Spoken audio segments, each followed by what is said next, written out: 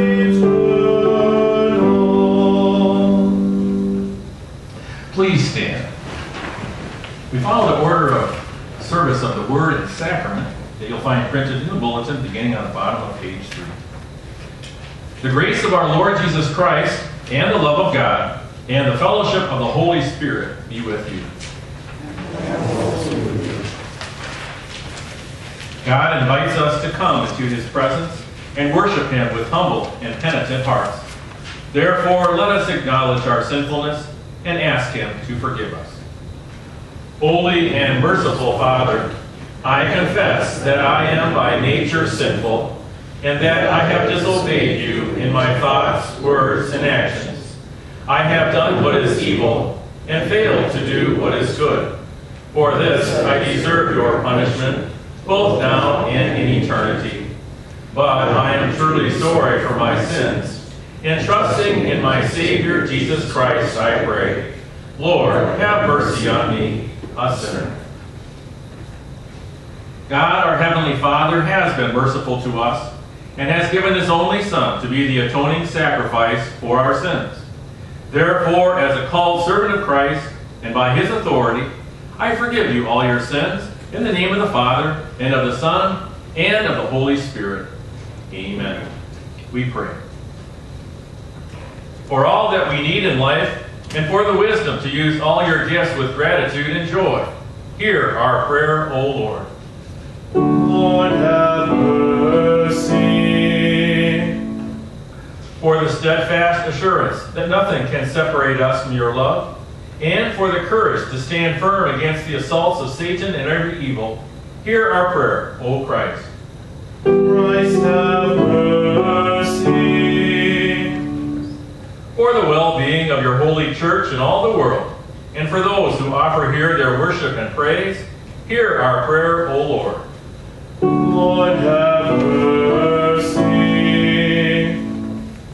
Merciful God, maker and preserver of life, uphold us by your power and keep us in your tender care.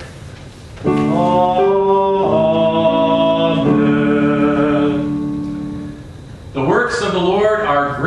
Glorious. His name is worthy of praise.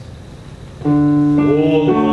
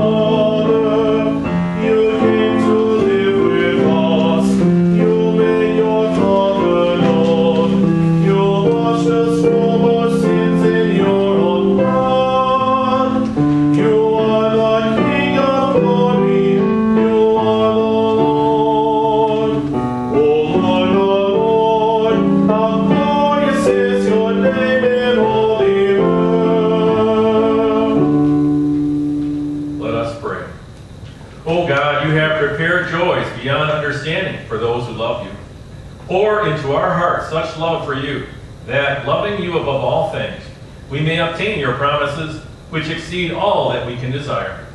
Through your Son, Jesus Christ our Lord, who lives and reigns with you and the Holy Spirit, one God, now and forever. Amen.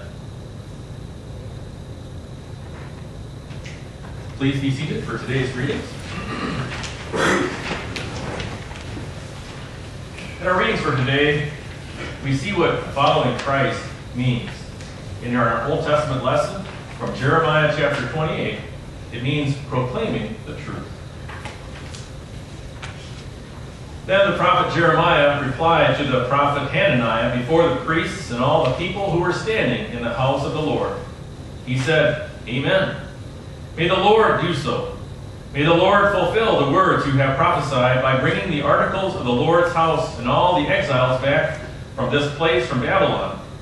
Nevertheless, listen to what I have to say in your hearing and in the hearing of all the people. From early times, the prophets who preceded you and me have prophesied war, disaster, and plague against many countries and great kingdoms. But the prophet who prophesies peace will be recognized as one truly sent by the Lord only if his prediction comes true. This is God's Word. Our psalm for today is Psalm 89, and uh, as I mentioned, our cantor will sing the refrains, and I'll read the verses.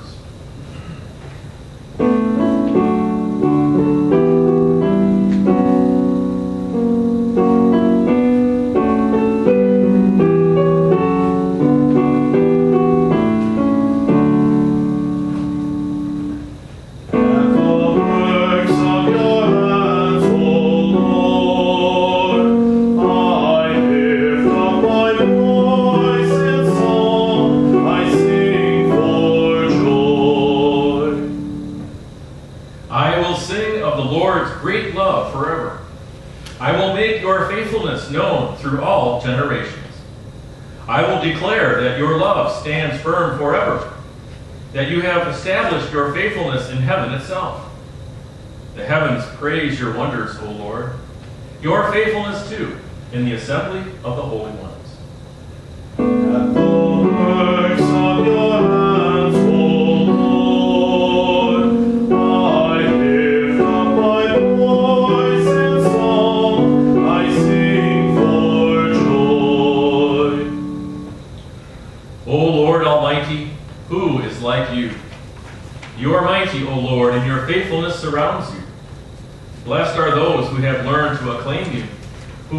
In the light of your presence, O Lord. They rejoice in your name all day long. They exult in your righteousness. Glory be to the Father, and to the Son, and to the Holy Spirit, as it was in the beginning, is now, and will be forever.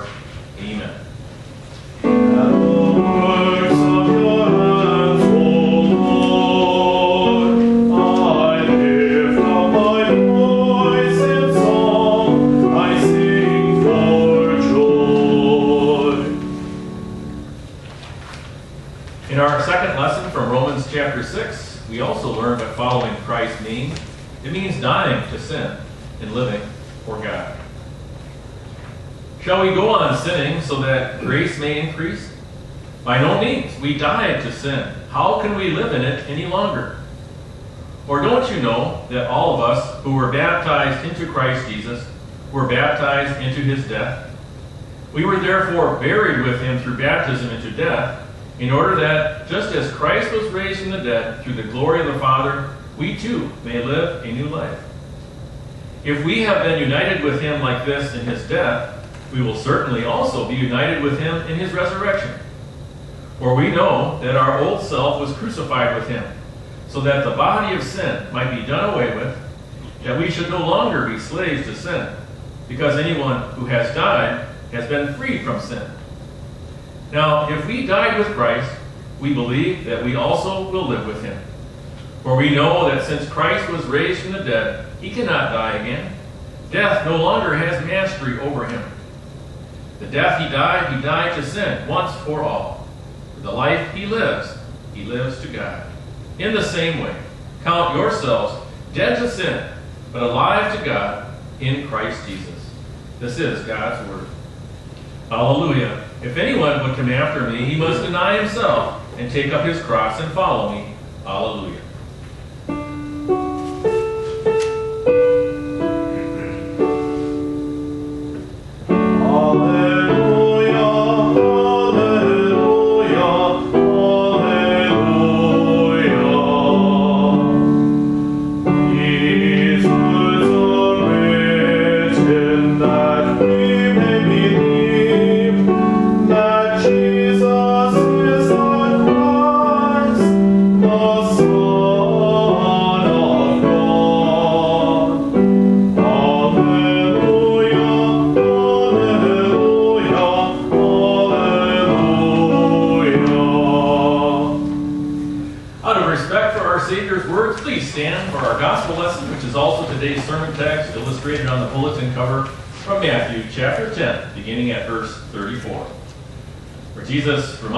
Following him will bring swords and rewards.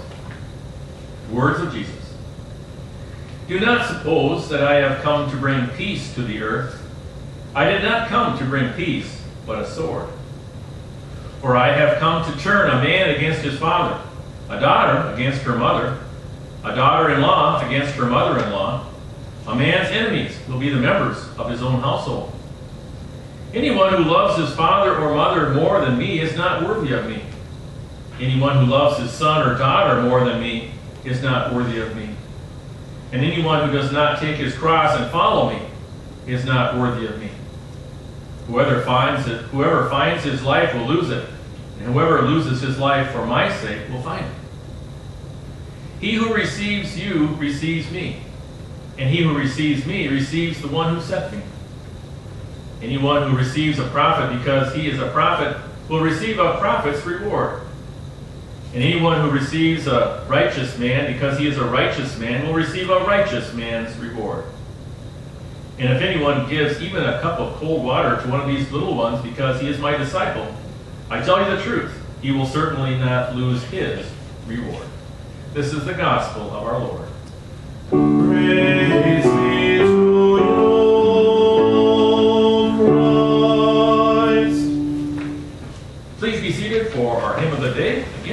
souls will sing hymn 453, Come Follow Me, the Savior's Fold.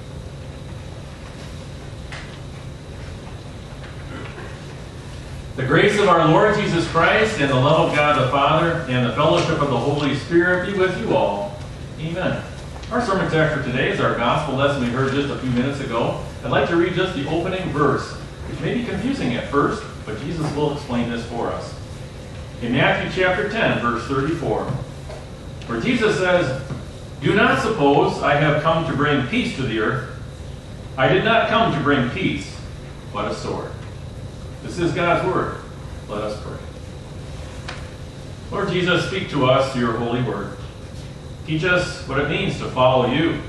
Give us a realistic view of a disciple's life that probably will have swords, but certainly will have many more rewards. Amen. It's great to have a guest preacher last Sunday especially since it was my uh, son-in-law, Justin Digman, who finished his first year at the seminary. And recall where he took us, right? He invited us to the king's palace, where his servants were brought before him, one who owed 10,000 talents, an unpayable bill. But after this servant asked for mercy, the, the king surprisingly forgave him. Illogical forgiveness. Well, from the king's palace last Sunday, we go to the, the wedding hall this Sunday, the wedding reception, where we meet the happy couple, bride and groom, Tom and Kathy.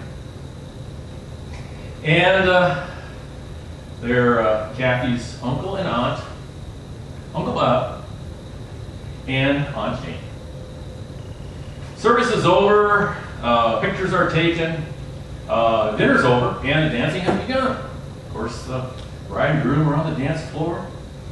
And after a few more dances, they're all tuckered out, and so they start going around the different tables to greet the people at the reception. And uh, it's uh, Kathy that comes over to your table. Bob, Aunt Jane, and sits down. Thanks for coming. And Uncle Bob says, You know, Kathy, thanks for reminding us. But I want to tell you something. Listen carefully. Marriage takes work. And let me tell you about it. Let me give you a realistic view of what it takes, uh, what marriage takes. You know, uh, Jane and I, we got married 35 years ago, and we struggled. Honestly, we struggled. It was tough finding a job or holding on to a job, and then uh, renting a little flat. Uh, God bless us with our first child, uh, baby bills, hospital bills, and then a, a second child. We had to move out of our flat into a house, and then a mortgage. I had to get a second job. I was out of, I was away from home for too long. We nearly separated. We, we spoke the D word. It was hard. And it's, uh, Kathy was thinking, Uncle Bob, it's my wedding day. Why uh, start raining on a sunny day? Thinking maybe, shouldn't I have even gotten married? I just wanted to give you a realistic view of marriage. In a similar way, I think Jesus wants to give us, his disciples then and now, a realistic view of what it means to follow him. Right? We just sang that, or our soloist did. Come follow me. Deny yourselves, the world forsake. Take your crosses and follow me. That there probably will be swords, there will be challenges that you face, like Uncle Bob explained to his niece. But there will be plenty also rewards, blessings, more than you can count, none of which you deserve. You know, the opening verse that I just read that's printed on the bulletin cover is rather um, a shock when you hear Jesus saying this, right? Do not think I have come to bring peace, I have come to bring a sword. But what did Isaiah foretell? You know, back in Isaiah chapter 9, he will be called Wonderful Counselor, Mighty God, Everlasting Father, what? Prince of Peace. What did the angels sing to the shepherds? Glory to God in the highest, and on earth peace to men on whom his favor rests. And then, uh, 40 days after that first Christmas, when Mary and Joseph went to the temple uh, for the rite of purification, present Jesus, baby Jesus, to the temple, they met a man named Simeon, who had been promised that he wouldn't die until he had seen the, the, the promised Savior. And he not only saw him, he held him in his arms. And he sang that song that is so, so familiar to us, the Nunc Dimittis, now dismiss. Now, Lord, dismiss your servant, for mine eyes have seen your salvation. Dismiss your servant in peace, But if you follow Simeon's conversation with uh, Mary, Joseph, and baby Jesus, he also makes a prophecy. He said, This child will cause a rising and falling in many in Israel, and his name will be spoken against. In other words, not everybody's going to believe in him as the Savior. And then you know what Simeon told Mary, and a sword will pierce your own soul too. Wow. Talk about rain clouds at a, a, a wedding reception or at the birth of your child at the temple. What did Simeon mean? How would Mary's soul be pierced? Maybe when Jesus was 12 years old and reminded his mother that, didn't you know I had to be in my father's house? Or at the beginning of his ministry, when he came home to Nazareth and he read that scroll of Isaiah, the promise of the coming Savior, and then he claimed to be that coming Savior. This scripture is now fulfilled in your hearing. And what do the people in, in town want to do? His own family? Throw him over the cliff. Now, Jesus, uh, Mary saw a sword. Jesus in his own life, where some of his brothers didn't even believe in him, uh, saying that he's demon possessed, he's out of his mind. And then when Mary and the brothers show up and say, that We would like to talk with Jesus, Jesus refuses, stays inside, says, My mother and brother want to talk with me? Who are my mother and brothers? Those who do the will of my Father. They are my true mother and brothers. Certainly, there are swords in our life as Christians, just like Mary, Jesus. The crosses that we bear because we believe in the one who died on the cross to take, take away our sins. Some are self inflicted, uh, beds that we made and now are lying in it. Some have come from the outside. When you live your faith, you are a target of criticism, attack. And now, for the last three, four months, this whole virus thing going around the world, forcing us to wear masks, staying six feet apart, and, and, and then now you can't even sing the hymns on Sunday. Crosses that we are bearing, tests that God is giving us as He calls us to repent and to rely not on ourselves, but on Him for forgiveness, life, and salvation. But here specifically, Jesus talks about the swords that we bear in our family situations, both our home family and our, even our church family.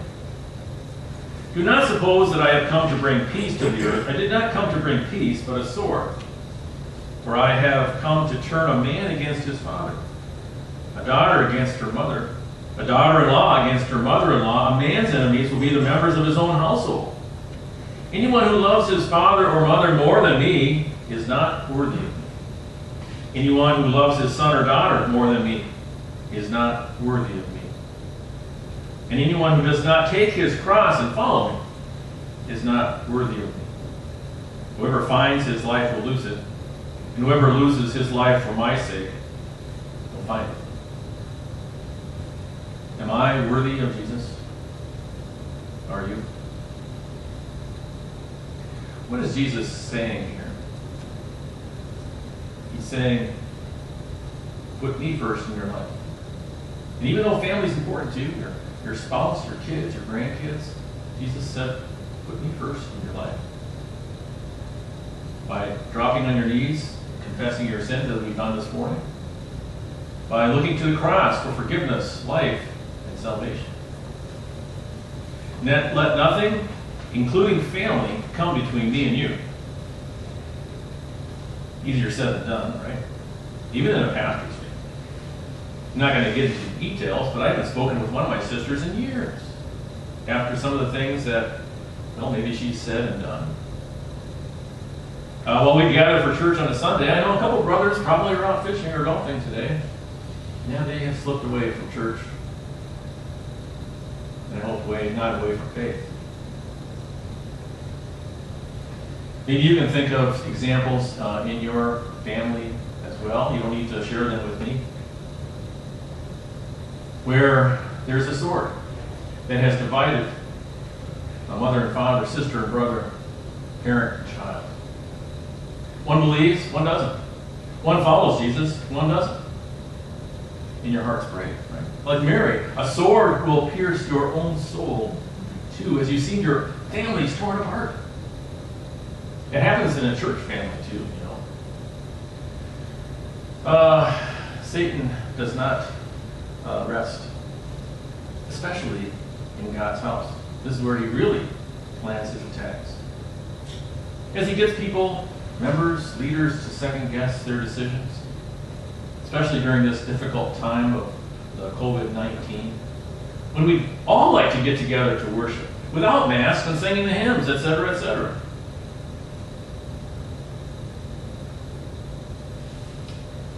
Realistic look at a disciple's life. That's what Jesus wants to give us, just like Uncle Bob wanted to give his niece, Kathy. But Uncle Bob's uh, his conversation with Kathy on uh, that uh, wedding reception didn't end there with the rain clouds. He says, "No, Kathy, what you did today was a wonderful blessing.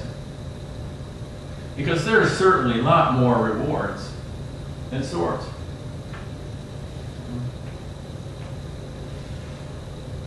Jane and I have been married 35 years.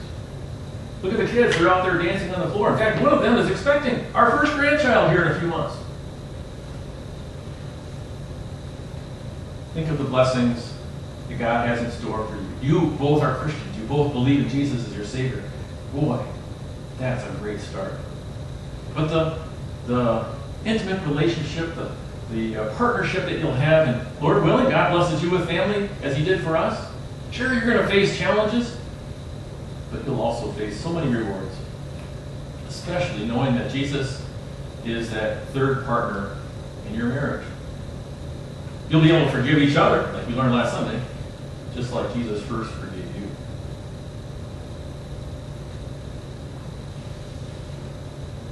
What are our rewards? Well, first of all, let's define reward. Grace. Remember that acronym from a couple weeks ago? God's riches at Christ's expense. It's a gift.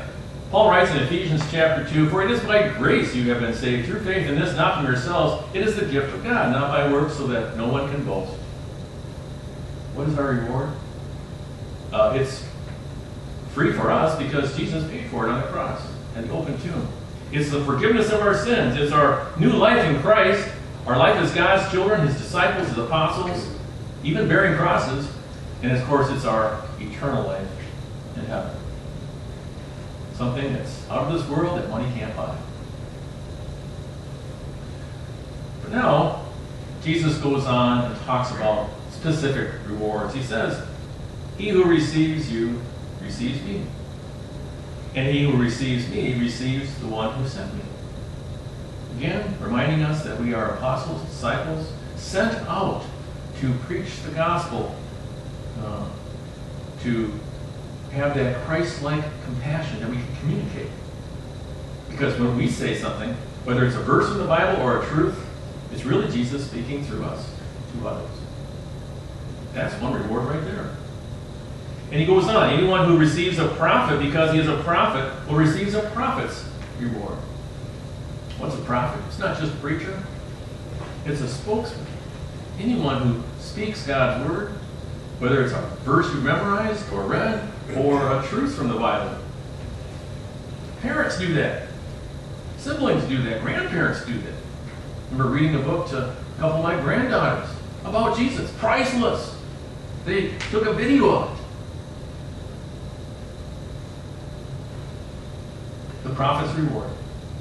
To know that God is using us to touch the hearts of little ones. Priceless. And anyone who receives a righteous man because he's a righteous man will receive a righteous man's reward. Who is righteous before God? On our own, no one. But we learn in Romans chapter 3 that our righteousness from God, apart from law and me, has been made known. The righteous will live by faith, that through faith in Jesus, we not only have our sins washed away, we've been clothed with his righteousness.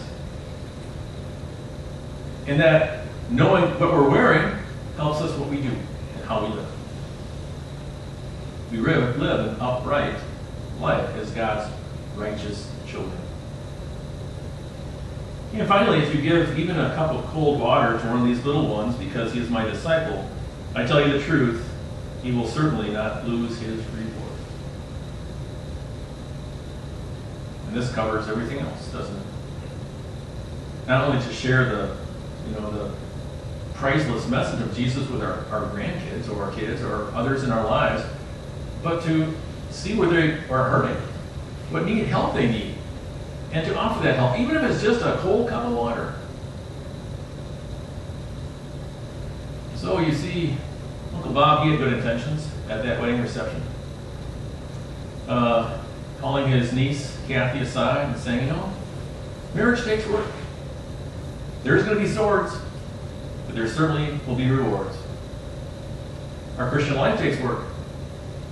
It's Jesus who did the, the wonderful work of saving us. And now he give us, gives us crosses to bear. He says, Anyone who would come after me must deny himself and take up his cross and follow me. Whoever loses his life will find it. Find Jesus and the full life we have as his children. God grant that for Jesus' sake. Amen. And may the peace of God which passes all understanding guard your hearts and your minds in Christ Jesus. Amen. Please stand and join me as we confess our faith with the words of the Nicene Creed. We believe in one God, the Father, the Almighty, maker of heaven and earth, of all that is seen and unseen. We believe in one Lord, Jesus Christ, the only Son of God, eternally begotten of the Father, God from God, light from light, true God from true God, begotten, not made, of one being with the Father. Through him all things were made. For us and for our salvation, he came down from heaven, was incarnate of the Holy Spirit and the Virgin Mary, and became fully human. For our sake he was crucified under Pontius Pilate. He suffered death and was buried. On the third day he rose again in accordance with the Scriptures. He ascended into heaven and is seated at the right hand of the Father. He will come again in glory to judge the living and the dead, and his kingdom will have no end. We believe in the Holy Spirit, the Lord, the giver of life